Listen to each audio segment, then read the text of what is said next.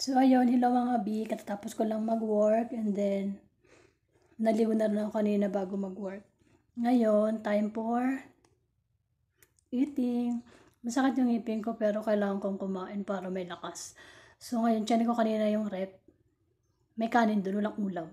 Ngayon, gagawa tayo ng partner ng aking ulam.